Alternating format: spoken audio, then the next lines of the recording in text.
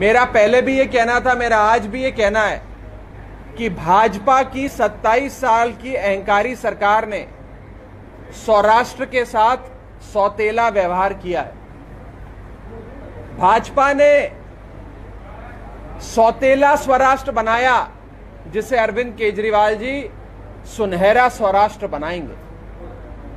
और सौतेले स्वराष्ट्र से सुनहरे स्वराष्ट्र, भाजपा के सौतेले स्वराष्ट्र से अरविंद केजरीवाल जी के सुनहरे स्वराष्ट्र की जो यात्रा है, उस यात्रा में स्वराष्ट्र के एक एक आदमी का, एक एक आदमी का हिस्सा मांगने विनती करने आज मैं आया हूँ।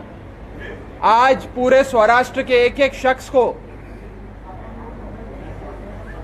पूरी मेहनत से आम आदमी पार्टी के साथ लगना होगा और पूरे गुजरात में जहाँ परिवर्तन की बात हो रही है, उस परिवर्तन की जंग में सबसे आगे स्वराष्ट्र को चलना होगा।